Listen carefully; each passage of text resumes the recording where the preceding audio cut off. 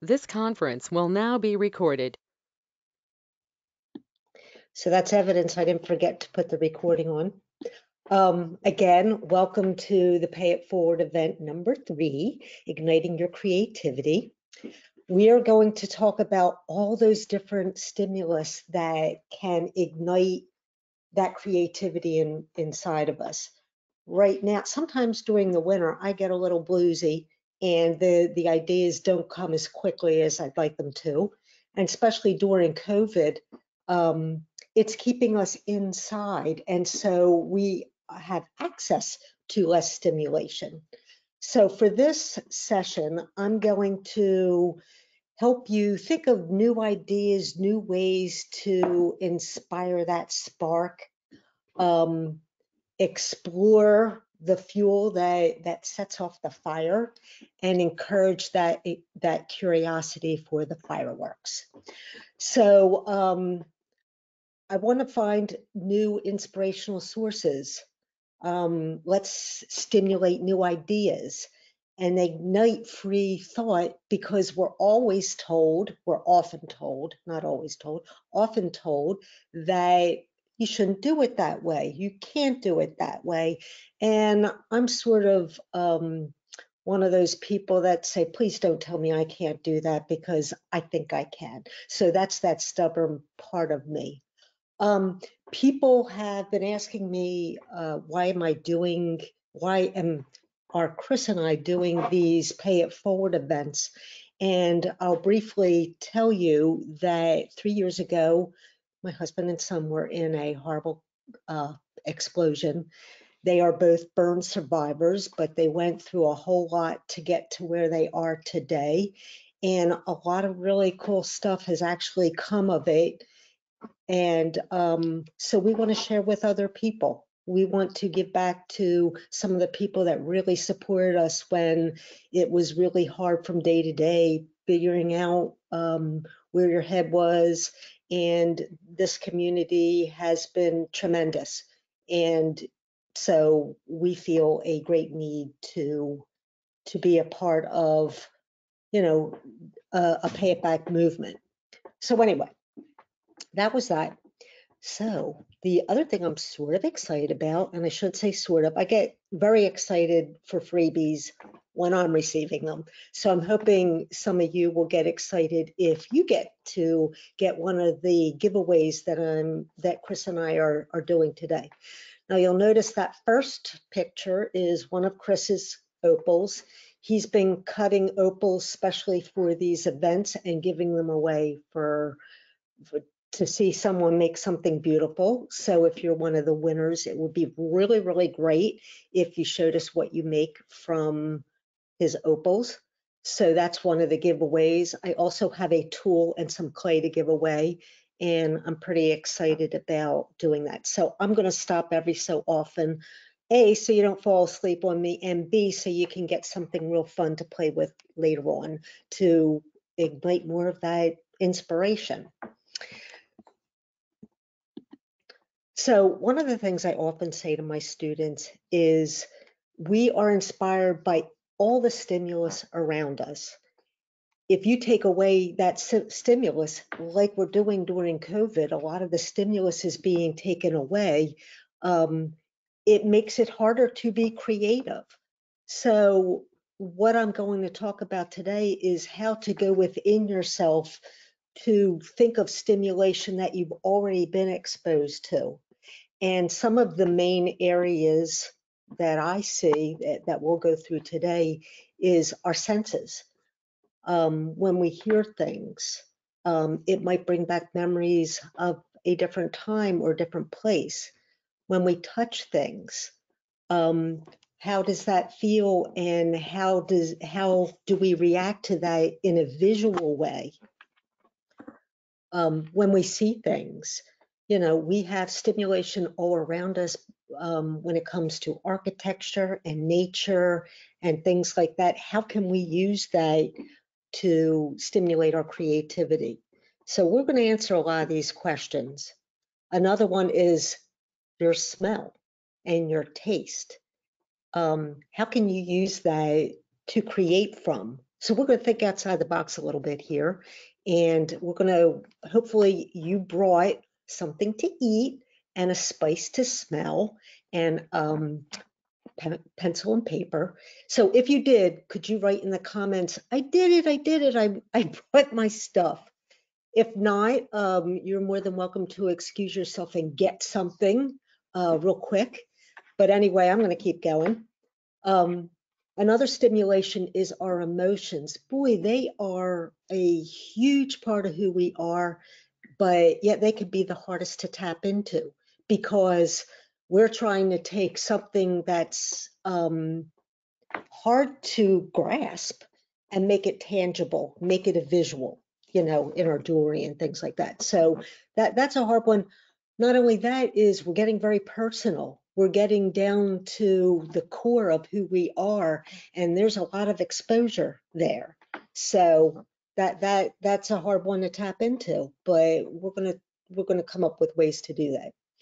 Um, life experiences are are a wonderful place to to get things uh, places that you've been sorrow uh, elation all the wonderful things that have happened in our lives the places that we go. There's so many memories. Um, and popular themes. It's it when it, it was funny i was talking about this yesterday in a class um, how culture, what's going on in the environment can affect what we're doing. And COVID has really affected a lot of what we're doing. And so I'm seeing, you know, big germ earrings of the COVID virus and toilet paper. Uh, I saw a toilet paper beaded necklace and and things like that. So we are responding to what's going on around us and and in some ways it can be a really wonderful thing. And in other ways it's an outlet for us to express ourselves. So i want to start off with hearing okay? So i'm going to play something for you and i'm wondering if you'll recognize what it is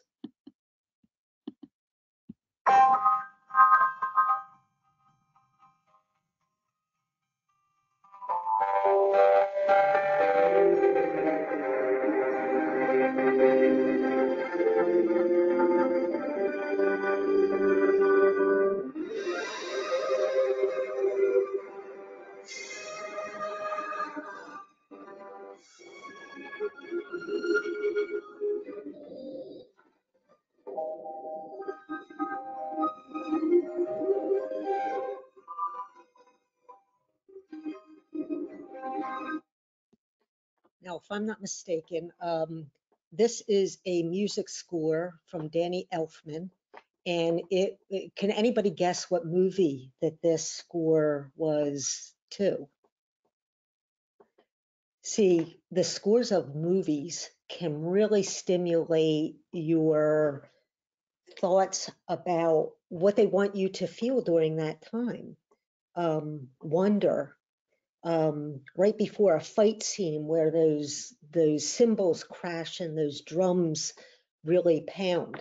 So movie scores often have no no words to them, and so it lets your imagination really go free.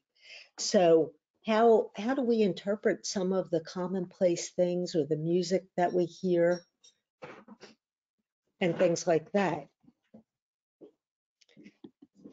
So one of the things I'm getting a note. Okay, I need to be closer to my audio, so I'm going to make that louder, the music. Anyway, um, so Chris just dropped me a note that said my audio is not great, so I'm coming a little closer, making it a little louder, so I hope you can hear me a little bit better. Um, so this, the picture that you're seeing here is a pen and ink drawing made from a movie score. And how I'm, how I was using it was I would turn on the music and I think of my line and design section of my designing with intention course and I'm thinking about how could I use the lines it to express the sounds that I'm hearing. So when I hear something um, getting more dramatic, the line gets thicker. When I'm hearing rhythm, I start to create multiple lines and, and things like that. So this was my interpretation of that music. Now, your interpretation might be very, very different, and that's a good thing. We don't all want to be coming out with the same things. So different kinds of music will elicit different responses. So I think about the different music genres that there are. Um, the classical music, the rock music. I mean, some some of the rock music takes me back to high school when we were sitting in somebody's basement just listening to rock music, that kind of thing. So I have an image right there with some of the that kind of music.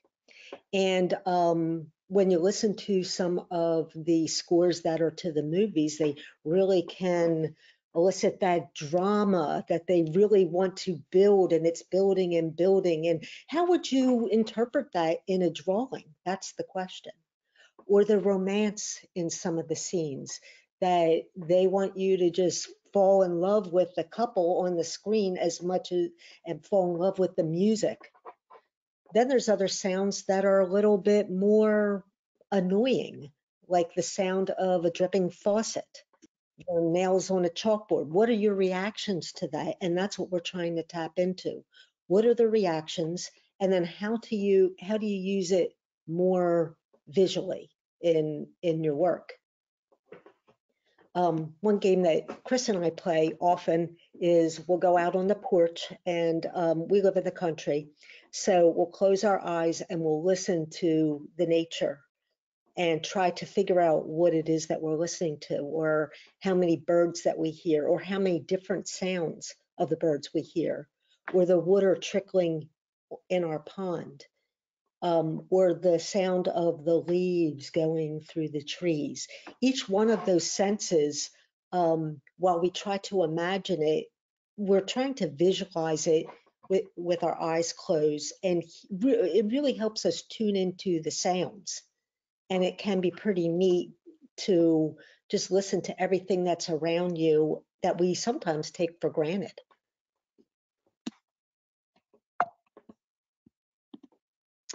So from the drawing, um, I made a photopolymer plate. And this is the texture that you saw in the drawing in the photopolymer plate. And I was trying to pay attention to how can I interpret that music, those lines into a piece of jewelry and how to capture the tempo and how it made me feel and the rhythms that that were being played and the emotion inside of me. How do I bring that out in a piece of jewelry? So this is the piece of jewelry that came from that. And I call this jewelry that rocks because the center piece here is an upcycled CD. And the ups the, the CDs I love the most, believe it or not, are gaming CDs because they're very colorful. And what I do is there there's a spiral saw that cuts plastic really nicely. And so I cut the plastic and then I sandwich it between the metal that I created from the photopolymer plate. And I love this little pop of red because it's sort of unexpected. But even the patterns on the CD helped tell the story of, of what I was trying to say. Now, somebody else that listens to the, which is really interested, interesting is that other people in the class they listen to the same music come up with something completely different. That's because each of us has our own reference points and life experiences that enter into the picture. And, you know, that's the cool thing about being an artist, I think, is being able to express yourself differently than, than somebody else.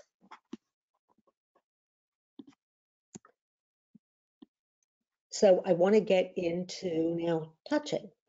Um, the this I made a texture plate from the wormholes that are in the tree branch there because I thought they were very cool. And so, you know, a lot of us that are in the audience are metal clay artists or other jewelers, And texture is huge, and we're great at noticing it. And that is one advantage, I think, of being an artist is noticing all the little details. And um, it's very important that we pay attention to the whys.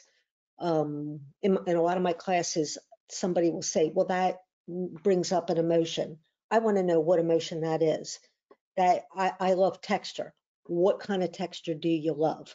Um, I, I'm, I always was a why person. How do things work? And um, that the more that you know about your own reactions to things, the more you can bring to the table when you're making your jewelry. So, um, you know, it's I think it's important to pay attention to how soft an item is and flexible and smooth, and what entices you about it. Um, it's the why are you attracted? Why do you like it? Why don't you like it? Those are the questions that take you deeper and deeper into your creative being and help you express something a little bit more meaningful for yourself. Um, when we look at rough items and the textures, what is it that that makes you curious and want to touch it? Why do textures draw our eyes? And what kind of textures are really drawing your eyes? So another game that Chris and I play, um, when we go to a lot of arboretums because I I just we both love nature, but I, I, can go there and take thousands of pictures. It's almost like studies of the plants and things like that. But the game that we play is walk around and one of us will um, feel a leaf. And a lot of times the leaf doesn't feel like it looks like it would. Like it might look fuzzy, but it feels prickly. So it's sort of a fun game to say, what do you think this feels like? And then the next person touches it and and really can describe it in such different ways than maybe even the first person, or it, it's so contrary to what it looks like it might be. But um, you know, that's another sense that we can totally tap into. So from that texture, and some of these pieces of jewelry are pretty old at this point, but this was a floating mother of pearl in here. And this was that, that texture from, from the wormholes. And I wanted to have some openings in there and this is a little hollow form. But just that experience of seeing that inspired this piece. And so it's always very interesting to see where your inspirations are going to come. Uh-oh, another drawing. Well, I shouldn't say, uh-oh, this is exciting. Okay, so actually this is the first drawing. The, the, the first slide was what we're going to draw. Now we're going to talk about who's going to win this. So, um, how did we do this last time, Chris, and picking a person? Um, I think Chris randomly ro rolls some dice and the position in where your names are, that determines who wins it.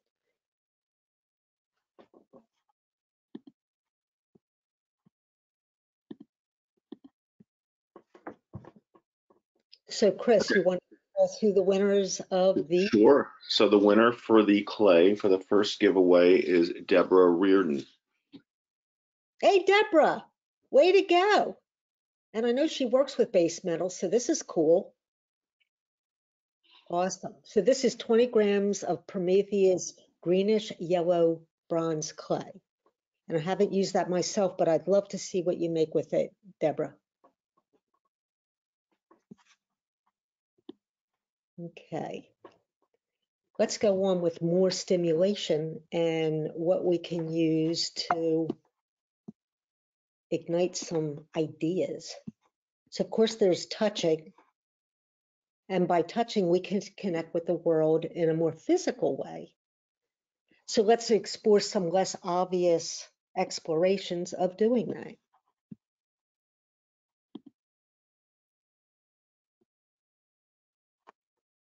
Oh, sorry, I think I'm in the wrong place.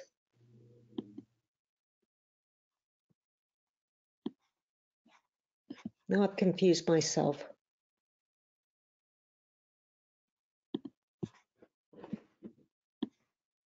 So touching, we're looking again at that um, wormhole markings of in the branch.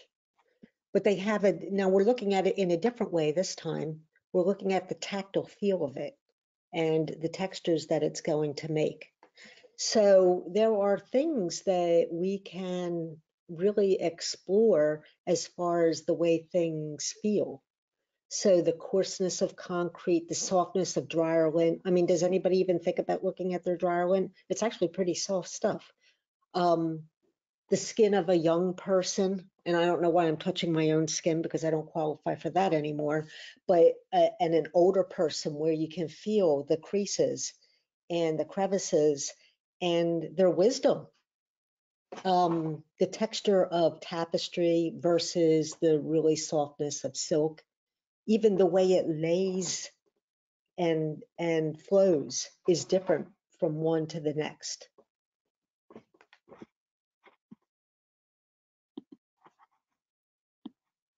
So the next one is seeing. We are attracted and exposed to visual stimulation constantly, constantly. Um, what if we took an extra 10 seconds when we're looking at things and really deeply concentrate on the details? A lot of times we say we like this or we like that, but we don't necessarily go, well, why is that? Or what is it that's attracting me to it? Or what's this make me think of? Um, so th this, these were in my favorite place, um, Nolde Forest, and I was we were scavenger hunting for different dry pods before I have a pod class that I, that I teach, elegant meadow pods, and the natural forms can really be um, a stimulation. And so I'm looking at this and I'm trying to figure out, well, why is this so interesting to me? This is really the the end of life for a plant, but it's these cool little tendrils and the representation of life that it had. Like at the end of Thought there was, yeah. Problem I've got is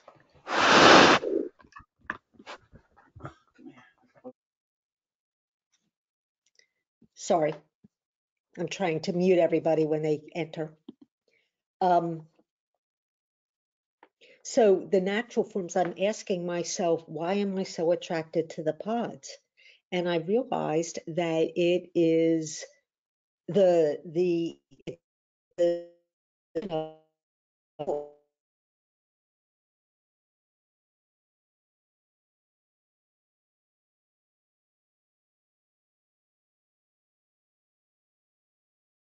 it is the dropping of the pods and it starts uh, the seeds of the pods and it starts that whole cycle again in architecture you know the sculptural forms and things like that in our environment.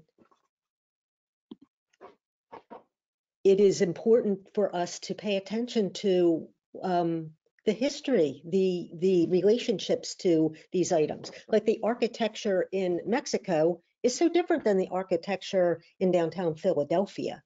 Um, it talks a lot about the people that settled there and the art that they that they brought with them. So art through the ages makes a difference because um, they had different technology that they were bringing to the table and different um, influences. You know, in Mexico, they had a lot of Spanish influences come to that area. In some areas, a lot of Victorian influences came to that area. So all of these things play a role in, you know, what we're seeing.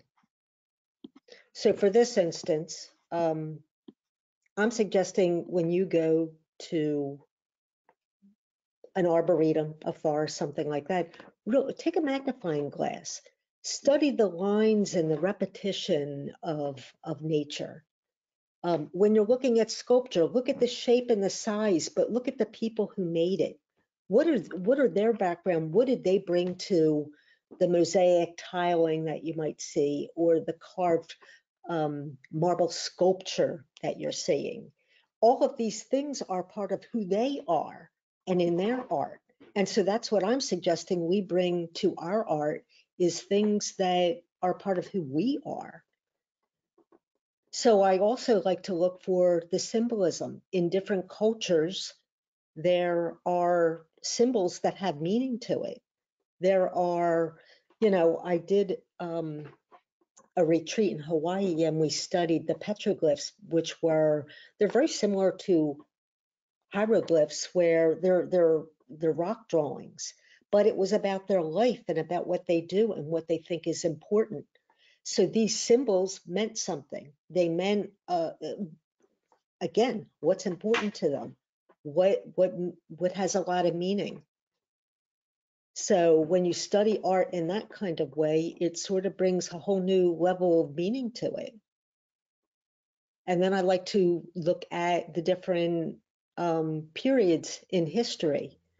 And each one, I was telling this to my students yesterday, each generation is often rebelling against the generation before. Um, somehow we're going to do it better, we're going to do it bigger, we're going to do it faster, whatever it is, we don't want to do it like they did it.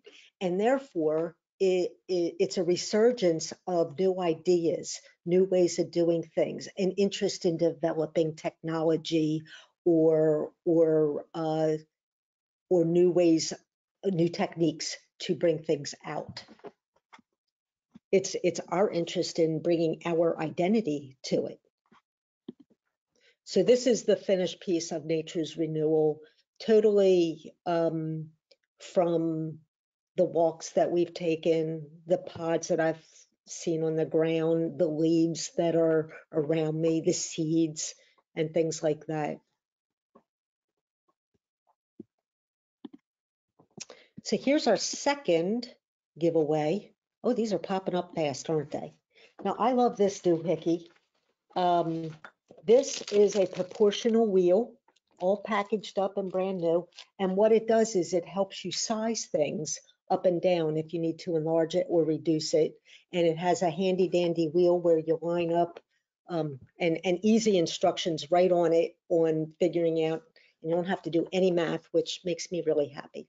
So Chris, can you roll your handy dandy dice and let us know who's going to win that? Yes, the winner for this is Ava Barbour. Oh, Ava. Way to go, Ava. That's awesome. Okay, so everybody that wins something, if you could send me an email with your address so that we can send it, that would be great.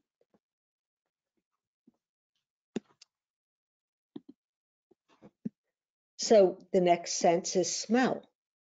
Now, I remember um, watching a MASH show, and Hawkeye, one of the characters, smelled something that was musty.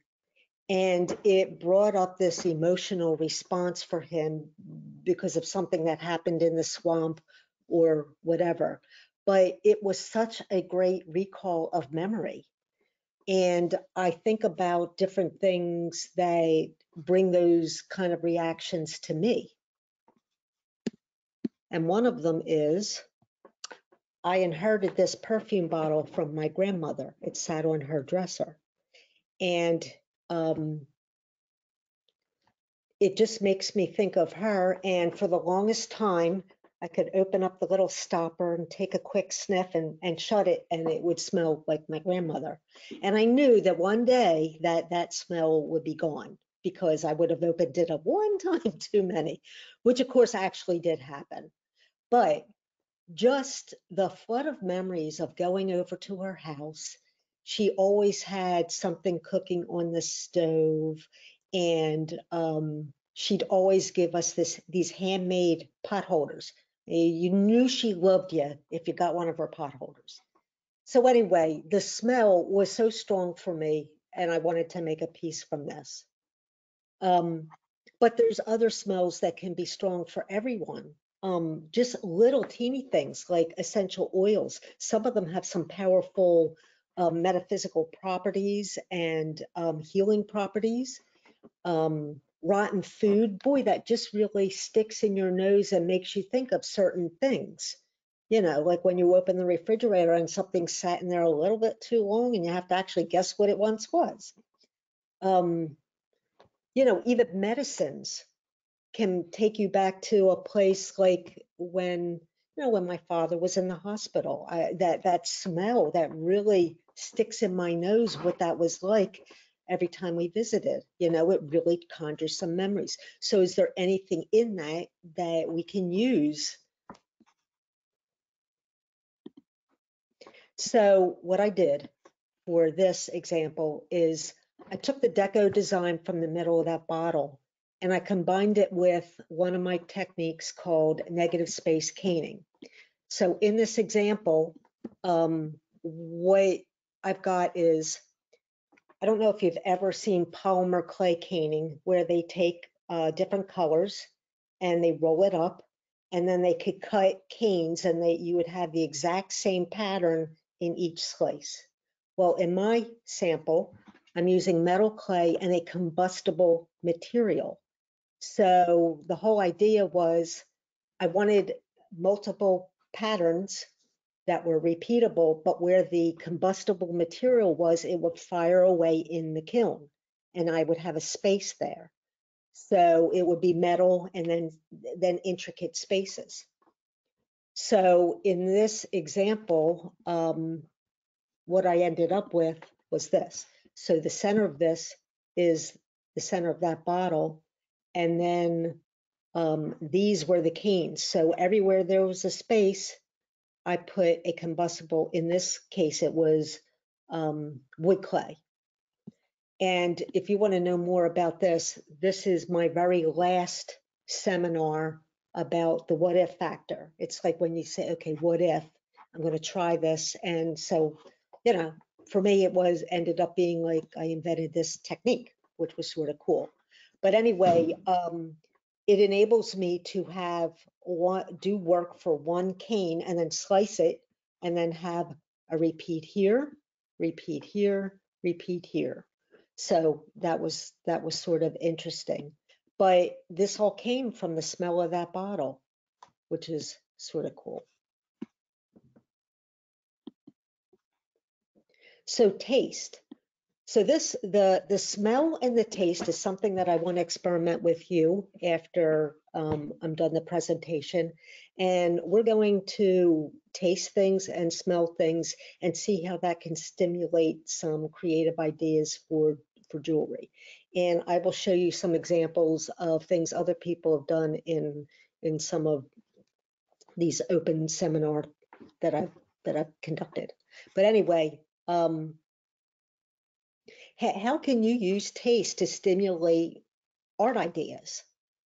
Um, in in in so many instances, we use celebration, and food is so much a part of it. We go to a wedding, and it's this lavish layout of food. We go to a funeral, and there's also a lavish layout of food, but they feel so different. The kinds of foods might be different. Um, they might be culturally related, but food is so much a part of our lives for celebrating or um, gathering around a table. Um, so many times, Chris and I have done retreats, and it's about the food and the art. We make art, and then we sit around the table, and Chris cooks for us. And the whole day we're smelling the food and we're wondering what it is, and um, and then we sit there and we talk and we connect, and it just is a real important part of eating. So for this, this was the stipulation for a piece of jewelry that I did. And uh, these are squash flowers that Chris grew in the garden. He knows I like I like the pods. He likes to cook them. So what you do is you batter dip squash flowers when they're open and you can actually eat them. Well, what happened is Chris collected all these pods and he put them in the refrigerator. Now see this little bug sitting up on the corner there? That bug actually made it into our uh, into a flower, got closed up, and lived in our refrigerator overnight until the next day when it came out of the refrigerator, the flower opened and the bug flew out. So I call this blossoms for dinner because the little bug had the idea of having it for dinner, but so did we. So anyway, um, you know, like the tartness of food, the textures of food, they can all be part of the stimulation. Like these stalks, they have like these teeny little prickles. When you feel them, it's totally different than the smooth, supple um, pod leaves. You know, I think about the sensations of when you're eating a nut versus when you're eating chocolate. One just melts in your mouth. The other one it has a texture, it has a feel, it has a grittiness maybe to it. Um, so what I like to do is like to try different foods and the learn about the people of of of the different lands that that these foods came from. Um, I think about comfort food, how just how it it not only how it makes you feel up here, but how it makes you feel in your belly how it how how it's warming. Why is that comfortable for us? So it's all the whys that I like to know. So the next step with the pods is um, this is my Represent Effects in Metal Clay class. And what we do is we take the photographs and we simplify them. We make a good composition, but then we wet work polymer clay and we put metal clay into it after it's been baked. So anyway, I'm trying to capture the essence of what I see. And because I'm an artist, I get to eliminate all this other background stuff that doesn't have a good composition to it. I get to decide what goes into my jewelry and what doesn't go into my jewelry. So, um, you know, I think about all the facial expressions that food makes, like uh, all the sensations. What's the texture? What is my face doing? How is my body feeling? Where, what is it doing to me when I eat? Is it just fulfilling a need of, of nutrition or is there some other delight and joy of, of eating? So this is the final piece for the blossoms for dinner. And um, and that was a lot of fun to find my own, you know, to know that he grew those pods because I like them, that he cooked something that was delicious. So this this piece has meaning to me. And that's what I think that we're all trying to do is bring meaning and purpose to what we're trying to say. Not everything has to be pretty per se, but it should be something from your heart or your gut or a deeper place within yourself. That's when it's, I think, the most satisfying anyway. So emotions, I think that one is a really hard one to tap into. Um, I've got a couple classes that that tap into the emotion. I um, in the designing with intention course, I do a line and design uh, practice, and we really pay attention to how lines are either energetic or not so energetic. So like a straight line across would be like that flat lining, not very energetic. But you know, the high waves and things like that, that's more energetic.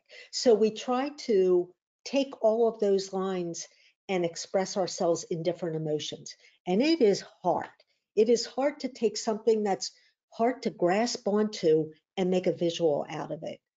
But it can be so satisfying when you're actually able to express yourself in that kind of way, because that's one of the harder ones to capture in, in a piece of jewelry. So for this example, um, I'm going to be showing you uh, the kinetic movement piece that came from this.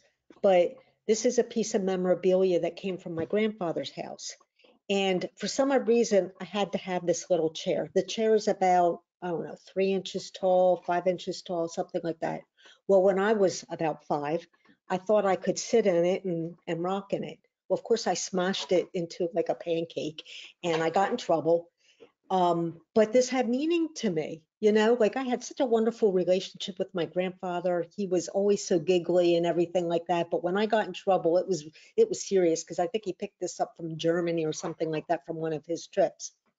So um, so there's a lot of emotion wrapped up in in this piece of memorabilia. So the one thing I want you to pay attention to is this element here, right on the back of the chair. And I'm going to show you how I use that element in the upcoming piece of jewelry.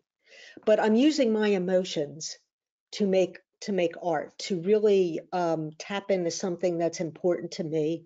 So we can tap into our anger, we can tap into our fear, love, hate. There's so many different topics of emotion, um, our empathy.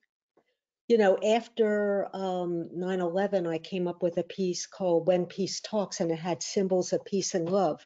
My emotion was that I just wish there was peace and calm in the world. You know, that was my way of expressing that. So anyway, we're looking at this element here, right? So in this lesson, what I do is I take that element and I tessellate it around to make these spinners. And so this is part of the element and the other part goes on the other piece. But anyway, um, so the question is, what kind of emotions can the things in your home help bring out in you? The things that people gave you. Um, how do they feel in your body? That feeling in your body is a useful tool for creating. Can you convert that feeling into a texture? Can you convert it into a motion of or a line? How do you how how do you represent that tightness in your chest or that tension in your back or that pain in my neck that I've been feeling for a while now? Um, these are expressions of my body telling me something.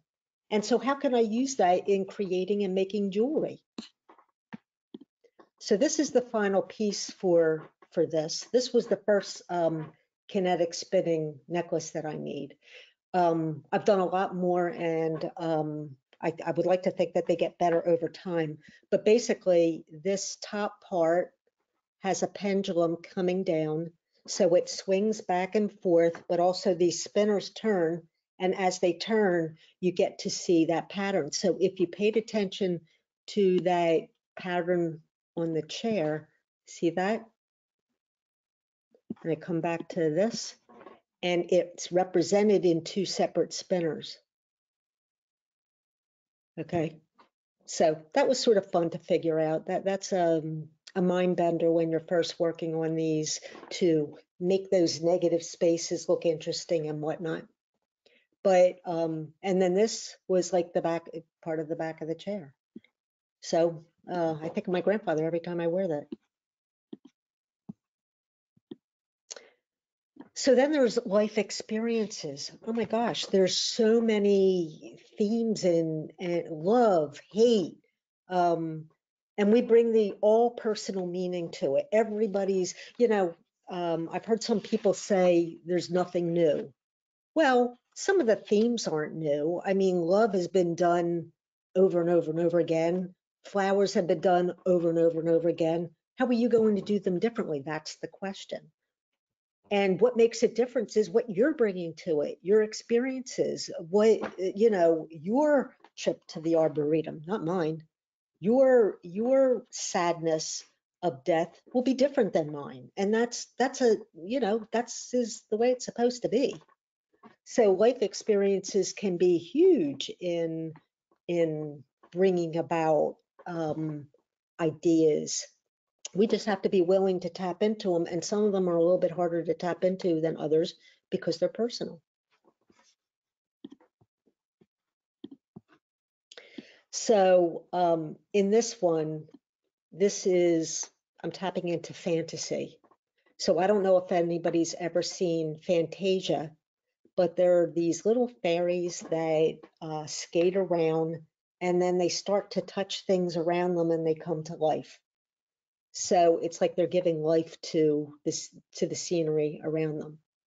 So life experiences can be anything from any important event, um, personal tragedy, painful encounters, joyful moments, romance, war and peace, love, deception, adventure. That's always a fun one to explore. Suspense, comedy, fantasy. But even when I talk about life experiences, um, you know, when Chris got into, Chris and my son got into this explosion, um, one of the messages I wanted to send is your your scars are not horrible. They represent the power that they represent survival. So uh, Strange Little Holly decided to to mold it from his his stomach and capture the pattern, and I made him some jewelry from that. And from that experience, we went to a camp and we taught kids how to do it, and it was transformative. I mean, everybody there pretty much despises their scars, but then when they rep- when they could see them as something that was their strength, there's the thing that got them through all of this was being able to, you know, have these scars and and they they tell a tale of survival, of bravery, of of all of that. And so it totally changed the paradigm of what a scar was. And that was just an amazing, amazing experience for everybody and and truly for for me and Chris. So anyway, from the Fantasia, I start putting together my ideas. How am I going to capture that fantasy of Fantasia? Um, what colors? You know, what themes am I going to use? Um, how does that that experience make my face look?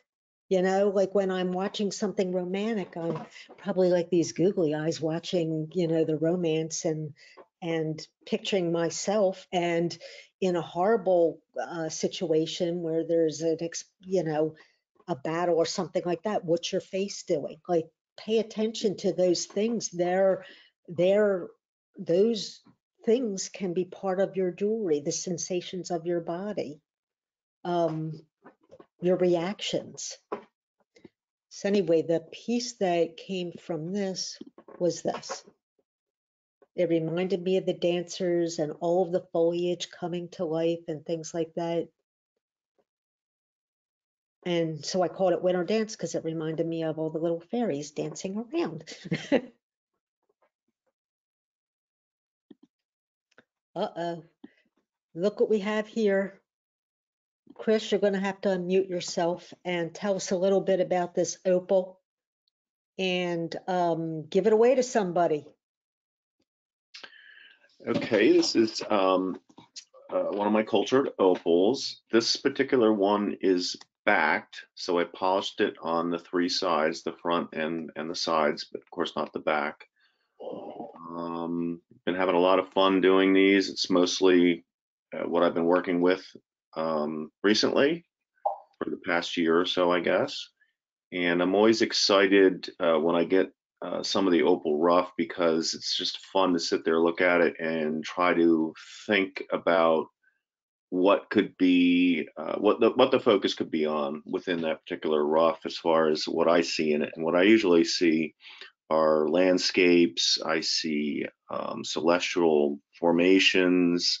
Sometimes I see little birds and animals and things like that. But of course, uh, if if you know about rock cutting, um, you never know what the finished product is going to end up like. You do have an idea at the beginning, but sometimes through the process, uh, you you actually reveal even more beauty than you thought was there to begin with. So I am going to give this one away to Bree Drummond. Ooh, Bree. Lucky you, Bree. Everybody give her a little round of applause for that one. Now, Chris actually has an auction going on today on his Facebook page. It started at 10 this morning. It will end at 10 tonight. And he's got some really beautiful ones. He's got some really great blues and greens. And um, some of them are two-sided, which makes possible a two-sided piece of jewelry. And uh, some of them are backed like this, where it only has one, you know, the front is visible and the back is a black backing. Um, what I'd like to do now is I'd like you all to to get out your pencil and paper, and um, I want to talk to you about ideas for you to try and execute. So this is my hope. Um, we'll, we'll taste some of the food that we brought. We'll um, smell some of the, the, the herbs or whatever that we bought. And we'll create something on our piece of paper. It doesn't have to be beautiful artwork. It just has to be um, inspired by those things. So what I'll do is I'll talk you about, uh, I'll talk through what you could be thinking about, and meanwhile you could do some drawing. Now, this gets so much more fun if we take our drawings and put them on uh, the metal clay and mixed media form. I sent you guys the link. If you need the link, you can email me a question about it. But um, where we can share. The sharing is the fun part. Now, it doesn't matter if it's perfect, it can be ugly, it, it's, they're all works in progress. They're not finished pieces of jewelry. But the whole idea is to try this out, experiment with some ideas and see how it can stimulate some of your, uh, some of your thoughts. So what I would like you to do is if you picked a funky object, so post what objects that you used, what you smelled, and what you what you got from that. It reminded you of uh, a visit to your grandmother. It reminded you of a toy that you had when you were a kid, or the smell um, makes you think of a luscious meal that you had in Japan, or or something like that. So I want you to really get into the items itself. Um, and then show us the drawings that came of it and what parts may have came from what part of your experience. So let me pull up some some drawings here. Let's see if I, ah, there we go. Now, okay, so when I've done this in person and we were allowed to touch each other and touch the things in the room, which um, I would put out boxes with things inside so that they would lift them up, they would not know what's inside and they would smell them. And then after they they reacted to it, um, then I would let them see what it was. So some people could guess and some people never were able to guess, but then it was fun. You know, they, they reacted to it without seeing it, but we were trying to tap into our body, uh, our reaction to it, our body's reaction to it, like how our face may have wrinkled up when we did it. So these were the questions that people looked at. You know, did they trigger images in your mind? Did they trigger um, memories of, of places? Uh, do you have associations? What reaction did your body have? So then um, I got these star anise and I'm looking at them and I'm saying to myself, um, look at the pods in there and the symmetry. Now this one is broken, but when you get a perfect one, which you rarely do, um, and you got, get this in the um, the spice department in your grocery store. And uh, I've seen people really use these, but the taste of them, okay, when I taste it, it tastes like licorice. And that takes me right to this uh, store. When I was a kid, we used to always, I mean, when I was a kid, you could just go somewhere. Your parents didn't know where the heck you were. Um, I grew up in Philadelphia. We went to the store and they had like candy galore and they had this black licorice that came in strands and I used to love to pull it apart. It was the sensation of pulling it up, knotting it, all kinds of things. But the taste is very, very distinctive. Um, if black had a taste, I think this is what it would taste like. But when I first tasted the anise, it gave a different sensation. Like, well, first of all, this has been in that box for a long time, so it wasn't as fresh, but it made my face react, you know, like, hmm, that's different. So I'd like to, you know, how am I reacting to that? And, but the flooded memory, it was such a good one. You know what I mean? And the nodding of the licorice. So how would I use that? Could I use um, wire or snakes of metal clay and and knot it up in in artistic ways? Or maybe not in so artistic ways. Maybe it would look chewed up after I had eaten it. I mean, there's a lot of interpretations on, on how that could go. But anyway, okay. So this was one of the items that I, that was in a bag that nobody was allowed to see, but they had to stick their hand in and touch it, which was really cool because they didn't know what they were feeling. And I was trying to pick something that had tactile feelings, but was also smooth and, and things like that. So from just the object, not seeing it, they got to see it afterwards. One of the students came up with this. So I'm not quite sure if that could be the center point to a pendant or an earring, but you can sort of see where some of the inspiration came from, like the knobbies, which ended up here, and the smooth part that ended up here. But then he added this little, she or he added this little dangle. And they gave it like some little horns and things like that. So they elaborated on what they saw and felt. Well, actually, what they felt because they didn't see it till afterwards. I let everybody see what it was. Okay, so here's another one that was done in one of these classes. And I wanted them to react to the picture. Now, I think this was a picture I took of a stairwell or skylights, actually. A st stairwell, skylights, and, and there was a stairwell next to it. So this was the stimulation, like how could you make a piece of jewelry from this visual? So this is the piece of jewelry that was designed from that. Now, mind you, these were like half hour sessions. I mean, this part of the session was like a half an hour. It wasn't like they had a whole lot of time. They were just fooling around. So let's see where they pulled this from. You know, like this strip became this. And uh, these little dots became that. So he didn't use all of them. He curated them. And then these spaces became that. And even these. So that was that one. So my question to you is, how are you going to use the spices that you have and the spe- smells that you have to do yours? How are you going to make that work?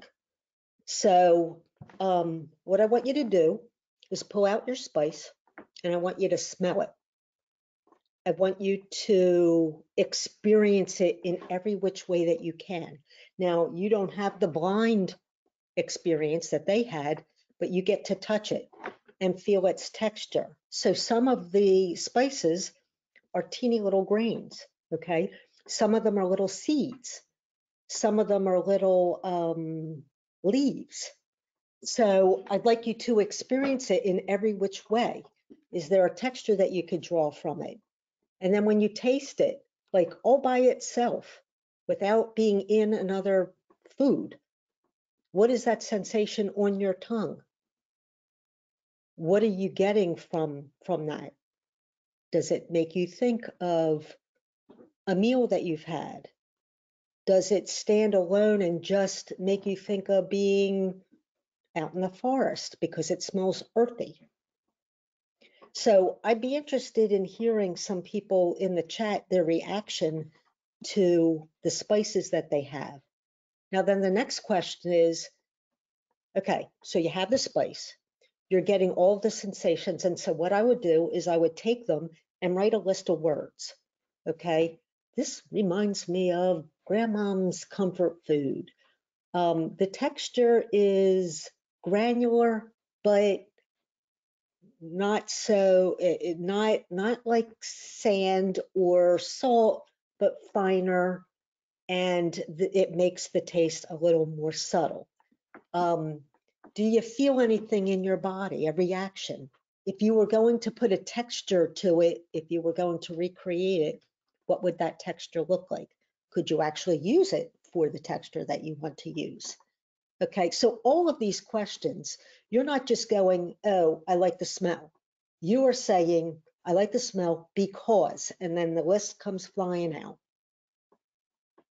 Now it's the same thing with the food that you brought. What does it look like? When you chew it, what is the sensation that you're getting in your mouth? Does it melt or do you really have to work hard? And do you picture your teeth being full of whatever this is? like caraway seeds, they would, you know, they'd be in each and every tooth that I have. Um, does that bring out something funny for you, thinking about that, being in every tooth that you have? Um, so I would like you to write down all of the sensations, the textures, the feels, uh, uh, how it reacts in your body. Maybe there is no reaction. Maybe there's a really adverse reaction, like, oh, I remember when I was a kid, my mother put mayonnaise in her hair because she said somebody told her it was very good and you know it, it makes your hair stronger and the protein yada yada yada. Well, meanwhile, it smelled horrible when she stuck her head under a a, hair dryer, and I can't eat mayonnaise, and I have a very adverse reaction to mayonnaise because of that experience. Um, I've been blaming my mom for years on not being able to put mayonnaise on my my um, bacon lettuce and tomato. But anyway, so one of the one of the experiments was combining more than one experience. So I think I had you get an interesting object, something to eat, and spice. What if you combine those things?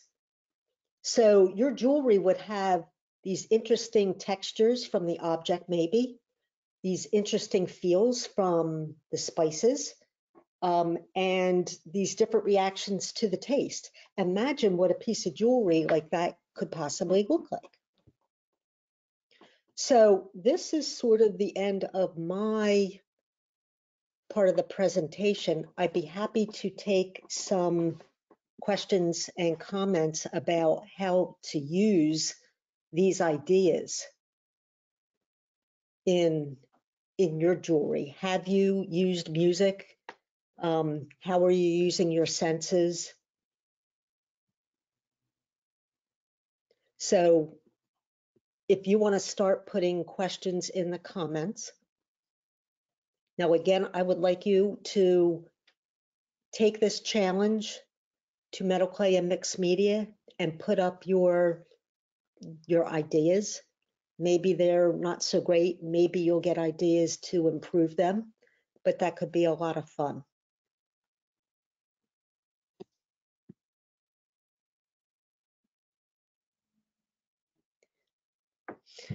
So does anybody have any questions for me?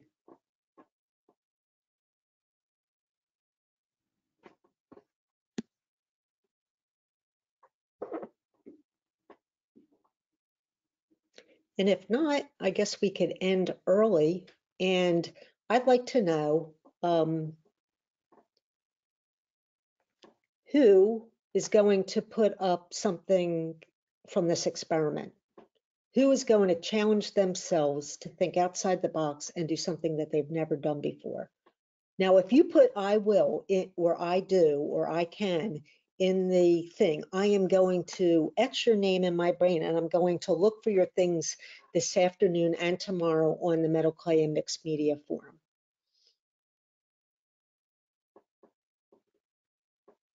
Yes, you will be able to rewatch this video. You just have to wait for me to process it all. And I, I will, it'll be on my blog and I'll probably announce it on social media. So I think there's one more thing that I wanted to put up here before we left. Um, where did I put it? Uh, Chris and I both wanted to thank everybody. You really do inspire me. Um, and I think you inspire him. You know, every time somebody shows him a piece of jewelry with the opals in it, he just wants to make more, you know, for you. Um, but how you've inspired me is for the last, I don't know, five months, I had a problem with my arm and getting back in the chair and, and doing things again got a little bit different and I, I see what you're doing and my students come to my classes and, and then I have to do samples and things like that. And that's so good for me because um, it, it gets me back in the chair and that that's inspiration that I need. And I draw a lot from my students and I'm hoping to lend a little to them if I can. Um, now, I'd also like to say the next um, event is a tutorial tutorial sale and giveaways. So on my website, the page is not up yet because I'm creating it because I don't sell my tutorials. So I'm having a tutorial sale for one day only. And we're doing giveaways on Facebook. So there'll be a Facebook Live every couple hours maybe, and we will give something away. And the way that you get more um, names in the drawing is if you share that, if you share a post that mentions the sale, then you get a name in the drawing. Every time you purchase something, you get a name in the drawing. So, um, so if you share 10 times, that's 10 names in the drawing. If you purchase something, your name is in the drawing. So whatever, whatever, um, again, I don't sell my tutorials ever. So these are like once in a blue moon kind of thing. Um, what is the name of Chris Gage's um, Facebook page? It is, well, if you look up Christopher Gage, his name will come up and you can go to his can go to his website. Um, the longer version is Healing Phoenix Lapidary on Facebook.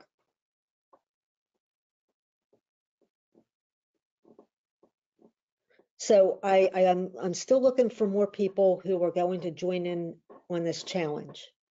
Oh, thanks for putting your link in there, Chris.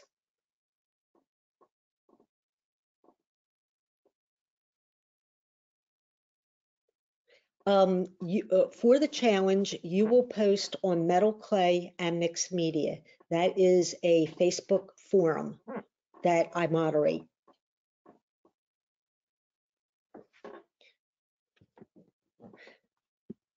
So let's see, am I missing any questions?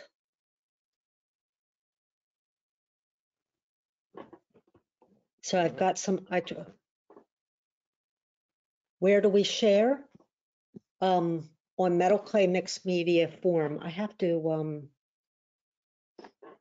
hold on for a second and I'll pull it up and I'll paste that in there. I don't know the URL off the top of my head.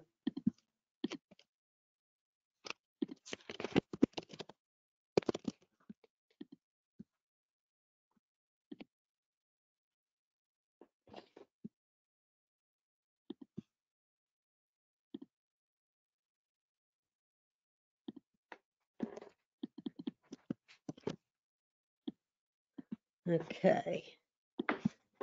Here is the URL for Metal Clay and Mixed Media.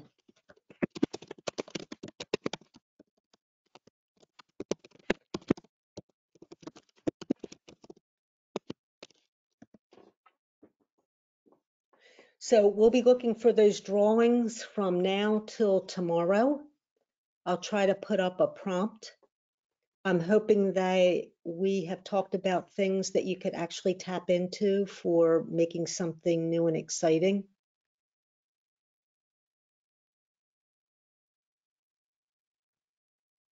Well, Jackie, I'll have to um, invite you to Metal Clay and Mixed Media, and then you'll know where it is.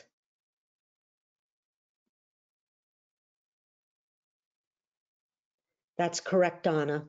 Um, you can take anything as your inspiration.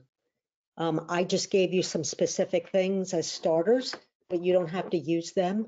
And when you're posting, I just want to know what your inspiration was and how you got to where you got.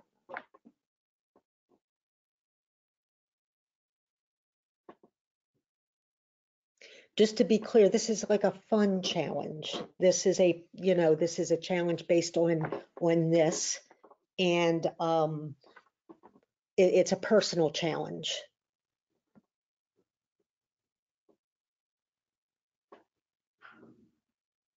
And I'm glad to hear a lot of people are challenging themselves to try something new.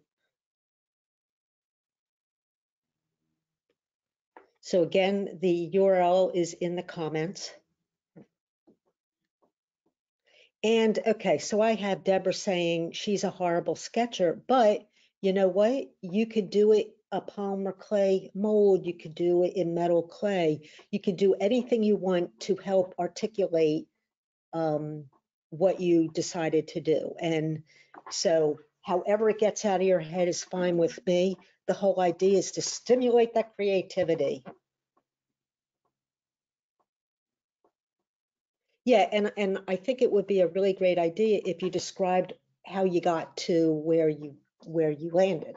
You know, if it was, um, it was the feel of the item that inspired this, or it was, um, the texture that inspired this, or it reminded me of this experience.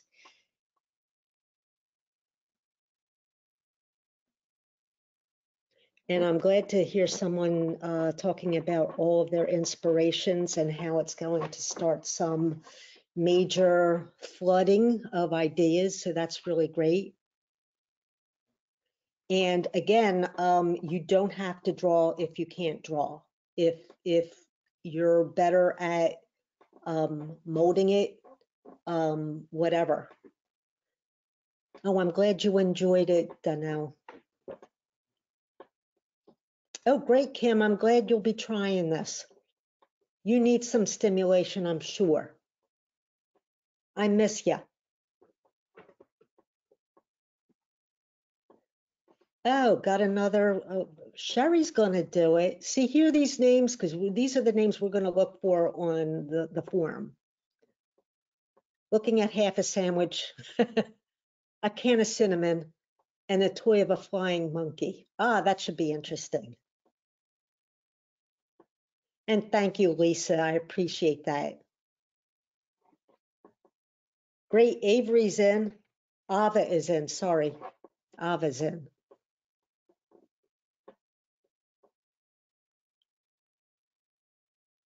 And I'm seeing that Donnell has a difficult gemstone to work with, so I'm hoping uh, this brings out some something else in you. And Jackie said her mouth is on fire because she had pepper.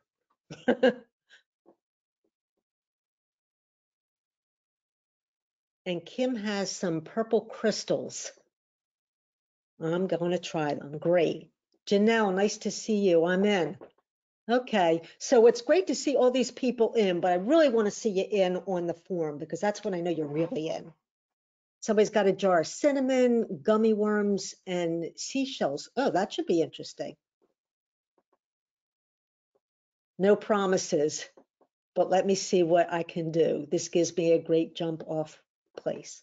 It's a good jump off place, but actually, if you commit, it'll be a great jump off place. Just saying.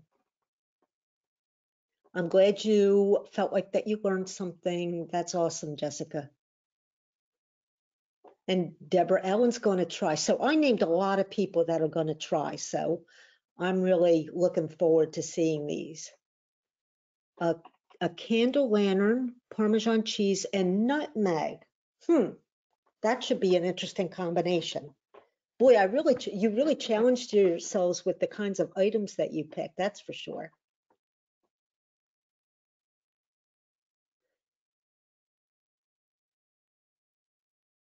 No idea what I'll do with it. Well, that's the challenge, that's for sure. And Amy's going to try the challenge. Woohoo, Well, I'm going to send you off into the creative world. Thank you so much. Um, we love you.